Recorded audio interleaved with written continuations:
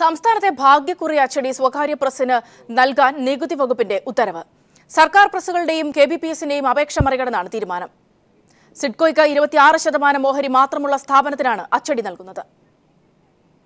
Kerala paper lotteries rule രണ്ടായിരത്തി അഞ്ച് അട്ടിമറിച്ചാണ് lottery അച്ചടി സ്വകാര്യ പ്രസിന് നൽകാൻ നികുതി വകുപ്പ് ഉത്തരവിറക്കിയിരിക്കുന്നത്. മൺവിളയിൽ ഉള്ള SIDCO hi-tech printing solutions private limited എന്ന സ്ഥാപനത്തിന് കരാർ നൽകാനാണ് ഉത്തരവ്. സിഡ്കോയ്ക്ക് കേവലം ഇരുപത്തിയാറ് ശതമാനം മാത്രം ഓഹരിയുള്ള സ്വകാര്യ സ്ഥാപനമാണ് ഇത്. കേരള ബുക്സ് ആൻഡ് പബ്ലിക്കേഷൻസും സിയാപ്റ്റുമാണ് ലോട്ടറി വകുപ്പിന് ടിക്കറ്റ് ഇപ്പോൾ അച്ചടിച്ച് നൽകുന്നത്. കെ ബി പി എസ് പ്രതിവർഷം പത്ത് കോടി ലോട്ടറി ടിക്കറ്റുകളാണ് അച്ചടിക്കുന്നത്. കൂടുതൽ ടിക്കറ്റുകൾ അച്ചടിക്കാൻ സുരക്ഷിതമായ അതിനൂതന സാങ്കേതിക വിദ്യയോടുകൂടിയ മെഷീനറികൾ കെ ബി പി എസിൽ സജ്ജമാക്കുകയും ചെയ്തിട്ടുണ്ടെന്നിരിക്കെയാണ് സർക്കാരിന്റെ വഴിവിട്ട നീക്കം. ആവശ്യാനുസരണം ലോട്ടറി ടിക്കറ്റുകൾ അച്ചടിച്ചു നൽകാൻ കെ ബി പി എസിനും സിയാപ്റ്റിനും കഴിയുന്നില്ലെന്ന് ചൂണ്ടിക്കാട്ടിയാണ് നികുതി വകുപ്പിന്റെ സ്വകാര്യവൽക്കരണ നീക്കം. ശക്തമായ സുരക്ഷാ മാനദണ്ഡങ്ങൾ പാലിച്ചു നടത്തേണ്ട അച്ചടികൾ SIDCO hi-tech printing solutions private limited ഇതിനു മുൻപ് നടത്തിയിട്ടില്ലെന്നും ചൂണ്ടിക്കാണിക്കപ്പെടുന്നു. News bureau Thiruvananthapuram. People exclusive മാതൃകാ പെരുമാറ്റച്ചട്ടം ലംഘിച്ച് സർക്കാർ നടത്തിയ സ്ഥലമാറ്റങ്ങൾ തെരഞ്ഞെടുപ്പ് കമ്മീഷൻ ഇടപെട്ട് റദ്ദാക്കി. പെരുമാറ്റച്ചട്ടം ലംഘിച്ച് സർക്കാർ സ്ഥലം മാറ്റിയത് നാല് വകുപ്പിലെ ജീവനക്കാരെയാണ്. ഉത്തരവ് റദ്ദാക്കിയതിന്റെ രേഖകൾ പീപ്പിളിന് ലഭിച്ചു. ഈ മാസം അഞ്ചിനാണ് കേന്ദ്ര തെരഞ്ഞെടുപ്പ് കമ്മീഷൻ തെരഞ്ഞെടുപ്പ് പ്രഖ്യാപിച്ചത്. അന്നു മുതൽ തന്നെ മാതൃകാ പെരുമാറ്റച്ചട്ടം സംസ്ഥാനത്ത് നിലവിൽ വന്നിരുന്നു. എന്നാൽ ഇതിനുശേഷവും സംസ്ഥാനത്തെ വിവിധ വകുപ്പുകളിൽ സ്ഥലമാറ്റം നടക്കുന്നതായാണ് മുഖ്യ തെരഞ്ഞെടുപ്പ് ഓഫീസർ കണ്ടെത്തിയിരിക്കുന്നത്. ഈ സാഹചര്യത്തിലാണ് മാതൃകാ പെരുമാറ്റച്ചട്ടം വന്നതിനു ശേഷമുള്ള എല്ലാ സ്ഥലമാറ്റവും ചീഫ് സെക്രട്ടറി തടഞ്ഞത്. എല്ലാ വകുപ്പുകളും സ്ഥാപനങ്ങളും മാതൃകാ പെരുമാറ്റച്ചട്ടം കൃത്യമായി പാലിക്കപ്പെടുന്നുണ്ടെന്ന് ഉറപ്പുവരുത്തണമെന്ന് ചീഫ് സെക്രട്ടറി ഉത്തരവിൽ പറയുന്നു. ഉത്തരവിന്റെ പകർപ്പ് പീപ്പിളിന് ലഭിച്ചു. സംസ്ഥാന തെരഞ്ഞെടുപ്പ് കമ്മീഷൻ സംസ്ഥാനത്തെ നിയമസഭാ തെരഞ്ഞെടുപ്പുമായി ബന്ധപ്പെട്ട് ഉദ്യോഗസ്ഥരെ സ്ഥലം മാറ്റുന്നത് സംബന്ധിച്ചുള്ള മാർഗനിർദ്ദേശങ്ങൾ പുറപ്പെടുവിച്ചിട്ടുണ്ട്. എന്നാൽ ഇതും മാതൃകാ പെരുമാറ്റച്ചട്ടവും ലംഘിച്ച് സംസ്ഥാന വൈദ്യുതി ബോർഡ് ജല അതോറിറ്റി തദ്ദേശ സ്വയംഭരണ സ്ഥാപനങ്ങൾ ടൂറിസം വകുപ്പ് എന്നിവിടങ്ങളിൽ സ്ഥലമാറ്റം നടക്കുന്നതായാണ് മുഖ്യ തെരഞ്ഞെടുപ്പ് ഓഫീസർ കണ്ടെത്തിയിട്ടുള്ളത്. ഈ സാഹചര്യത്തിലാണ് ചീഫ് സെക്രട്ടറിയുടെ ഉത്തരവ്. ഇത് സർക്കാരിന്റെ കനത്ത തിരിച്ചടിയായിരിക്കുകയാണ്. സംസ്ഥാനത്തെ വിവിധ വകുപ്പുകളിൽ മാതൃകാ പെരുമാറ്റച്ചട്ടം ലംഘിച്ചുകൊണ്ട് ഇത്തരം സ്ഥലമാറ്റങ്ങൾ നടക്കുന്നതായി നേരത്തെ തന്നെ പ്രതിപക്ഷവും ഉന്നയിച്ചിരുന്നു. എസ് ഷീജ തിരുവനന്തപുരം. പട്ടികജാതി പട്ടികവർഗ വിഭാഗക്കാർക്ക് സ്ഥാനക്കയറ്റത്തിന് സംവരണം അവകാശമല്ലെന്ന് സുപ്രീം കോടതി സംവരണം ഏർപ്പെടുത്താനുള്ള നയരൂപീകരണം കോടതിയുടെ പരിധിയിൽ വരില്ല. സ്ഥാനക്കയറ്റത്തിന് സംവരണം വേണമോ എന്ന് തീരുമാനിക്കേണ്ടത് സർക്കാരാണെന്നും സുപ്രീം കോടതി വ്യക്തമാക്കി.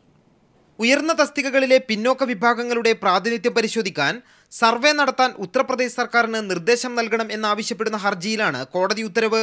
ഭരണഘടനയുടെ പതിനാറാം വകുപ്പ് നാല് എ നാല് ബി ഉപവകുപ്പുകൾ പ്രകാരം സർക്കാർ ജീവനക്കാരുടെ സ്ഥാനക്കയറ്റത്തിന് സംവരണം വേണമോ എന്ന് തീരുമാനിക്കാൻ കേന്ദ്ര സംസ്ഥാന സർക്കാരുകൾക്ക് അധികാരമുണ്ട്.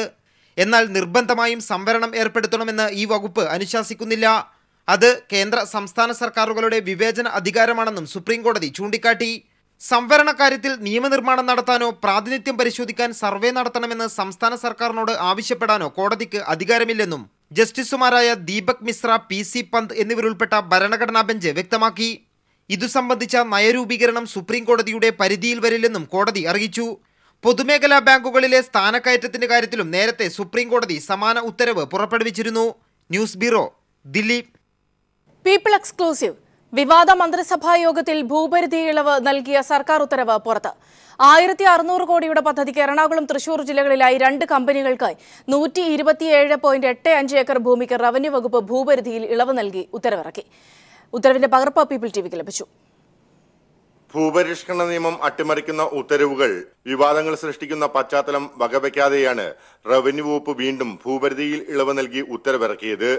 സ്വകാര്യ മേഖലയിൽ ഹൈടെക് ഐ ടി പാർക്കുകൾ സ്ഥാപിക്കുന്നതിന്റെ ഭാഗമായാണ് എറണാകുളം വടക്കൻ പറവൂർ പുത്തമ്പേലിക്കര വില്ലേജിൽ തൊണ്ണൂറ്റി അഞ്ച് പോയിന്റ് നാല് നാല് ഏക്കർ ഭൂമിക്കും തൃശൂർ ജില്ലയിലെ മടത്തുംപടി വില്ലേജിലെ മുപ്പത്തിരണ്ട് പോയിന്റ് നാല് ഒന്ന് ഏക്കർ സ്ഥലത്തിനും ഭൂപരിധിയിൽ ഇളവ് നൽകി ഉത്തരവിറക്കിയത്.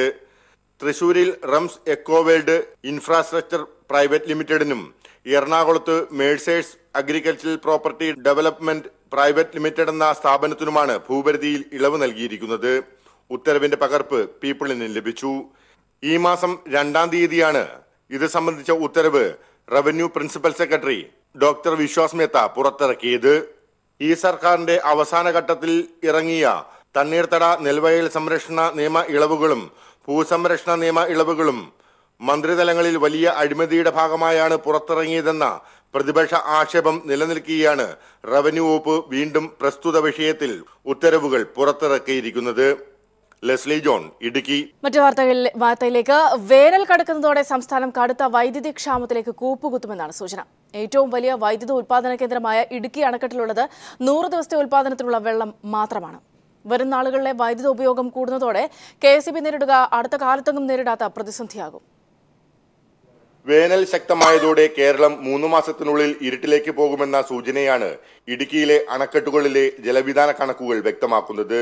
സംസ്ഥാനത്തെ ഏറ്റവും വലിയ വൈദ്യുതോൽപാദന കേന്ദ്രമായ ഇടുക്കി പദ്ധതിയുടെ ജലസംഭരണിയിൽ നൂറ് ദിവസത്തേക്കുള്ള ഉൽപാദന ജലം മാത്രമാണുള്ളത്. വേനൽ മഴ കൃത്യമായി ലഭിച്ചില്ലെങ്കിൽ കടുത്ത വൈദ്യുതി പ്രതിസന്ധിയിലേക്ക് കേരളം കൂപ്പുകുത്തും. ഇടുക്കി അണക്കെട്ടിൽ ഇപ്പോൾ തൊള്ളായിരത്തിയൊന്ന് ദശലക്ഷം യൂണിറ്റ് വൈദ്യുതി ഉൽപ്പാദിപ്പിക്കാനുള്ള ജലം മാത്രമാണുള്ളത്. എട്ട് പോയിന്റ് രണ്ട് ദശലക്ഷം യൂണിറ്റ് ഉൽപാദനം എന്നുള്ളത് ഇപ്പോൾ പത്ത് ദശലക്ഷം യൂണിറ്റ് ആക്കി ഉയർത്തിയിട്ടുണ്ട്. മൂലമറ്റം പവർ ഹൗസിൽ ഉൽപാദനം കൂട്ടിയാൽ മൂന്ന് മാസത്തേക്ക് ഉൽപ്പാദിപ്പിക്കാനുള്ള വെള്ളം മാത്രമേ അണക്കെട്ടിൽ ഉണ്ടാകൂ. ഇടുക്കി ഡാമിലെ ഇപ്പോഴത്തെ ജലനിരപ്പ് രണ്ടായിരത്തി മുന്നൂറ്റി നാൽപ്പത്തി അഞ്ച് പോയിന്റ് മൂന്നടിയാണ്. കഴിഞ്ഞ വർഷത്തെ അപേക്ഷിച്ച് പതിനെട്ട് പോയിന്റ് നാല് രണ്ട് അടി വെള്ളത്തിന്റെ കുറവാണ് ഉണ്ടായിരിക്കുന്നത്. വേനൽ കടുക്കുന്നതോടെ വൈദ്യുതി ഉപയോഗത്തിൽ കാര്യമായ വർധനവും ഉണ്ടാകുമെന്നത് കെ എസ് സി ബിയെ ആശങ്കയിലാക്കുന്നുണ്ട്. News bureau Idukki. മത്സരിക്കുന്നത് സംബന്ധിച്ച് തന്നെ ആരും ഔദ്യോഗികമായി അറിയിച്ചിട്ടില്ലെന്ന് നടൻ സിദ്ദിഖ്. ഇക്കാര്യത്തിൽ മാധ്യമങ്ങളോടെ വന്ന അറിവ് മാത്രമേ തനിക്കുള്ളൂവെന്നും സിദ്ദിഖ്. നിങ്ങൾ ടി വിയിൽ പറയുന്ന ന്യൂസിലൂടെ കേൾക്കുന്ന വിവരം മാത്രമേ എനിക്കുള്ളൂ. എനിക്ക് ഔദ്യോഗികമായ ഒരു അറിയിപ്പ് കിട്ടുക അതല്ലെങ്കിൽ അതിന്റെ എന്തെങ്കിലും ഒരു ഡിക്ലറേഷൻ നടക്കുകയോ ചെയ്തിട്ടില്ല. അത് വന്നതിന് ശേഷം ഞാൻ തന്നെ നിങ്ങളെ നേരിട്ട് വിളിക്കാം. നമുക്ക് അതിനെപ്പറ്റി സംസാരിക്കുകയും ചെയ്യാം. ഇപ്പം നിങ്ങൾക്കുള്ള പോലെ തന്നെ ഉള്ള അറിവ് എനിക്കുള്ളൂ. എനിക്ക് അതിനെപ്പറ്റി ഔദ്യോഗികമായ ഒരു അറിവും ലഭിച്ചിട്ടില്ല. ഞാനും ഇങ്ങനെ കേൾക്കുന്നുണ്ട് ടി വിയിലൂടെ പറയുന്നത്. നിങ്ങളോട് ഇതൊക്കെ ആരാ പറഞ്ഞത്? ഞാൻ അത് കഴിഞ്ഞിട്ട് എന്ത് ചെയ്യും? അതിന്റെ അടുത്ത കൊല്ലം എന്ത് ചെയ്യും? അങ്ങനെയൊക്കെ ചോദിച്ചാൽ എനിക്ക് പറയാൻ പറ്റില്ല. അത് ഞാൻ വന്നിട്ട് പറയാം. അതൊക്കെ ഞാൻ അതിന്റെ പറഞ്ഞ ആളുകളോട് പറയല്ല? ഇല്ലേ അങ്ങനെയല്ലല്ലോ ചോദിക്കുന്നത്. ഉച്ചയ്ക്ക് ഊണ് കഴിക്കുമോ അത് കഴിഞ്ഞ് അങ്ങനെ ചെയ്യുമോ വൈകുന്നേരം എന്ത്? അങ്ങനെ ചോദിക്കാൻ പാടില്ല. അതൊക്കെ വരട്ടെ വരുമ്പോൾ നമുക്ക് ആലോചിക്കാം. വരട്ടെ അതിന്റെയൊക്കെ തീരുമാനം വരട്ടെ. എപ്പോഴല്ലേ? ഈ രാഷ്ട്രീയക്കാർ തന്നെ പറഞ്ഞ കേട്ടിട്ടില്ല? എങ്ങും എങ്ങും തൊടാതെ. അതുപോലെ. ഇത്തവണ തെരഞ്ഞെടുപ്പിൽ വോട്ടർക്ക് സ്വന്തം വോട്ടിന്റെ സുതാര്യത കണ്ടു മനസ്സിലാക്കാം. രേഖപ്പെടുത്തുന്ന വോട്ട് ബാലറ്റായി ഏഴ് സെക്കൻഡ് നേരമാണ് കാണാൻ സാധിക്കുക. വി വി പാറ്റ്സ് എന്ന പുതിയ സംവിധാനമാണ് ഇതിനായി ഉപയോഗിക്കുന്നത്. സംസ്ഥാനത്തെ പന്ത്രണ്ട് മണ്ഡലങ്ങളിലാണ് ഇത്തവണ ഇത് ഉപയോഗിക്കുക. തെരഞ്ഞെടുപ്പിൽ വോട്ട് ചെയ്യുമ്പോൾ വോട്ടിംഗ് യന്ത്രത്തിൽ വോട്ട് രേഖപ്പെടുത്തുമ്പോൾ തന്നെ ഒരു കൺട്രോൾ യൂണിറ്റിന്റെ നിയന്ത്രണത്തിലുള്ള വി വി പാറ്റ്സിൽ വോട്ട് ബാലറ്റായും മാറും. ഇത് വോട്ടർക്ക് തന്നെ നേരിൽ കണ്ട് മനസ്സിലാക്കാം. ഏഴ് സെക്കൻഡ് മാത്രമാണ് രേഖപ്പെടുത്തിയ വോട്ട് വോട്ടർക്ക് കാണാൻ സാധിക്കുക. തുടർന്ന് ബാലറ്റ് സ്റ്റാറ്റസ് ഡിസ്പ്ലേ യൂണിറ്റിൽ ശേഖരിക്കപ്പെടും. ഇത് ആദ്യമായാണ് ഇത്തരം ഒരു സംവിധാനം സംസ്ഥാനത്തെ തെരഞ്ഞെടുപ്പിൽ ഉപയോഗിക്കുന്നത്. Voter verifiable paper audit trail എന്ന സംവിധാനത്തിലൂടെ വോട്ടർക്ക് സുതാര്യതയും കൃത്യതയും മനസ്സിലാക്കാൻ സാധിക്കും.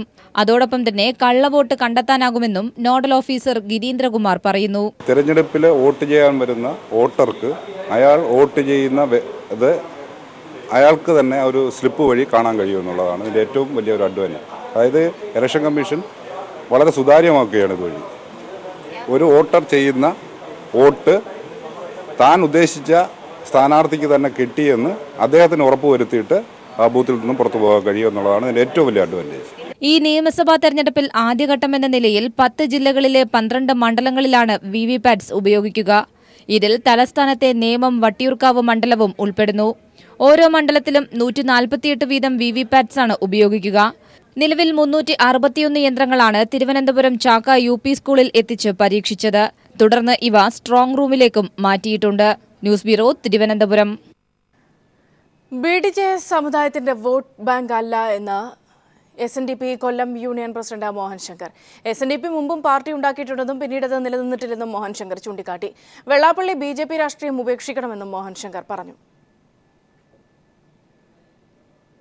അതിനകത്ത് നടേശൻ ഈ എസ് ഡി പി യോഗത്തിന് വഴിയാധാരമാക്കുമെന്നുള്ള വിശ്വാസം എനിക്കില്ല വെള്ളാപ്പള്ളി നടേശൻ അദ്ദേഹം പിന്നെ എസ് ഡി പി യോഗത്തിന്റെ പതിനഞ്ച് കൊല്ലത്തെ വളർച്ചയ്ക്ക് ഏറ്റവും മുൻപന്തിയിൽ നിന്ന് പ്രവർത്തിച്ച ആളാണ് ഞങ്ങളുടെ എല്ലാവരുടെ ആഗ്രഹവും വിശ്വാസവും അങ്ങനെയുള്ളൊരു വെള്ളാപ്പള്ളിയെ ഞങ്ങൾക്ക് തിരിച്ചു കിട്ടുമെന്നുള്ളത് തന്നെയാണ്.